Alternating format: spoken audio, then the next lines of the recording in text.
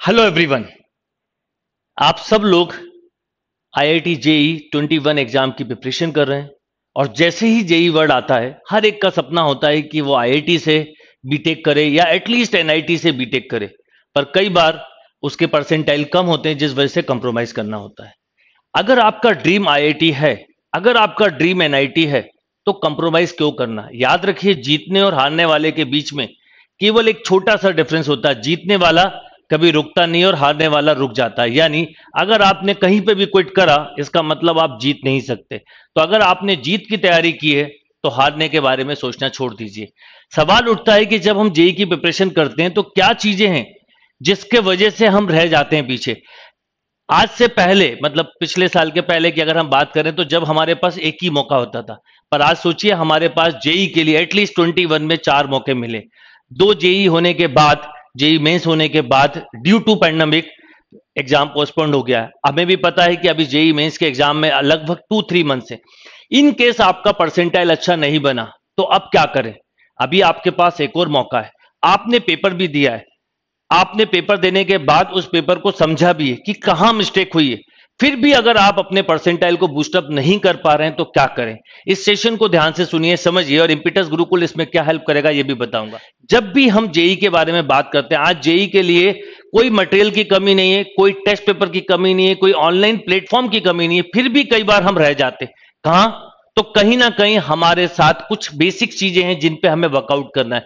जैसे ही JEE word word दिमाग में आता है, हम सोचते हैं कि जेई मतलब या कुछ बच्चे सोचते हैं कि जेई मतलब टफेस्ट एग्ज़ाम नो जेई का मतलब है एक ऐसा एग्ज़ाम एक ऐसा कंसेप्शल एग्ज़ाम कि अगर आपने अच्छे से पढ़ाई की बेसिक से पढ़ाई किए लॉजिक्स बना के पढ़ाई की तो ऐसा नहीं हो सकता कि आप परसेंटाइल अच्छा ना बना पाए।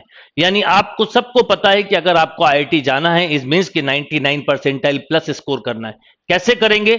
नंबर वन एक, पढ़ाई करनी है, पहला काम। दूसरा टेस्टिंग करनी है, तीसरा, उस टेस्ट पेपर का एनालिसिस करना है। अब प्रॉब्लम कहाँ होती है मैं बताता हूँ। प्रॉब्लम एक जगह पे होती है केवल। हम टेस्ट पे पढ़ाई भी करते हैं टेस्ट पेपर भी देते हैं और टेस्ट पेपर के हमारे पास प्रिंटेड सॉल्यूशन भी होती। है कई बार उससे वो अंडरस्टैंडिंग डेवलप नहीं होती जो होना चाहिए। तो अब इंपिटस क्या करने वाला मैं बताता हूँ।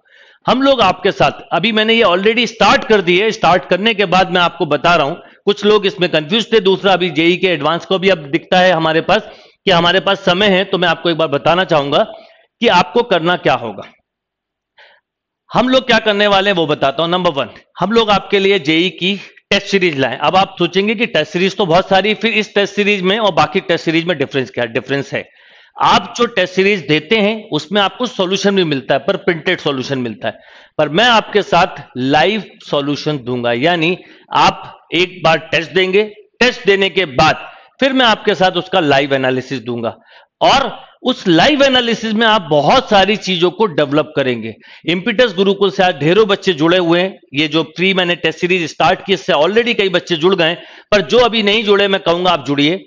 और पहले समझिए कि प्रॉब्लम एरिया क्या है। जैसे मैथ्स में मैंने देखा है, मैं मैथ्स लेता हूँ, इसलिए मैथ्स के बारे में बता रहा हूँ, कि बच्चे क्वेश्चन तो सॉल्व कर लेते हैं। पर उनका टाइमिंग कम होता है, कई बार ज़्यादा होता है, कई बार सिलेक्शन ऑफ़ क्वेश्चन कम होता है, क्योंकि जब हम बात करते हैं जेई की तो एक डिस्ट्रीब्यूशन है पेपर में। मान लीजिए अगर हम बात करें कि जो क्वेश्चन आते हैं, उसमें 25 परसेंट क्वेश्चन इजीएस्ट होते हैं 25 परसेंट क्वेश्चन टफेस्ट होते हैं और 10 मीडियम लेवल के होते हैं। अब आपका सिलेक्शन में अगर टफेस्ट क्वेश्चन पहले आ गया तो आप ये जो 75 परसेंट है ना, इससे कई बार पीछे हो जाते हैं। सबसे पहले हमें 25 परसेंट सिंपल क्वेश्चन ढूँढने हैं। देन उसके बाद जो 50 परसेंट मीडियम लेवल के वो अब फिर टाइम बचा। तो हम टफेस्ट क्वेश्चन को जाएँगे। अगर हमारा सिलेक्शन अच्छा हुआ, अब ये कैसे पॉसिबल होगा?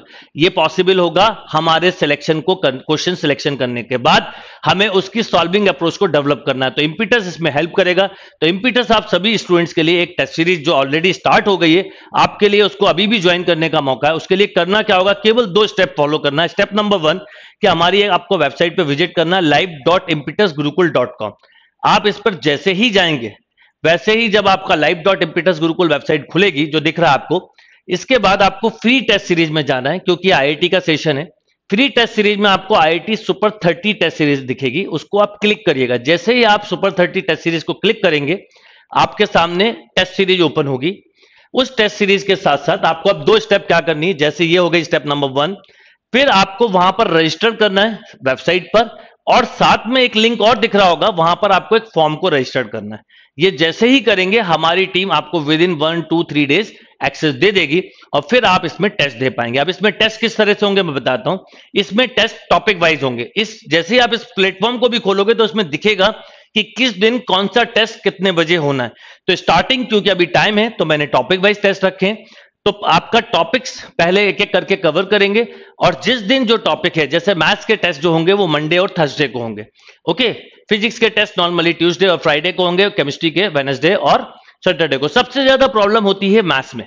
तो मैथ्स के जो टेस्ट होंगे मंडे और थर्सडे को सेम डे आपको इवनिंग में यूट्यूब पर ही आ, इसका लाइव सॉल्यूशन मिलेगा सेवन ओ क्लॉक पर। सेवन ओ क्लॉक कभी पे आपको सॉल्यूशन मिलेगा।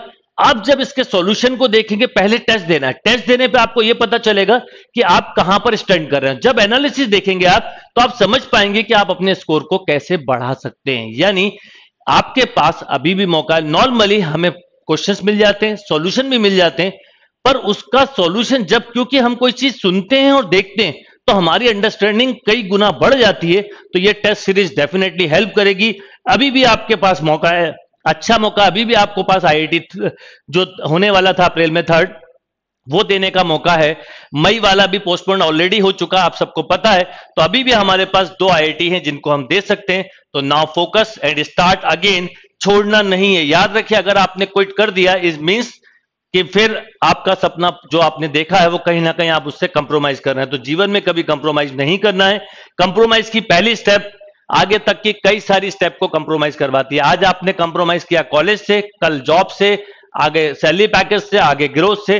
इन सबको यहीं पे रोक दीजिए। रुकिए मत। अभी भी आपके पास मौका है।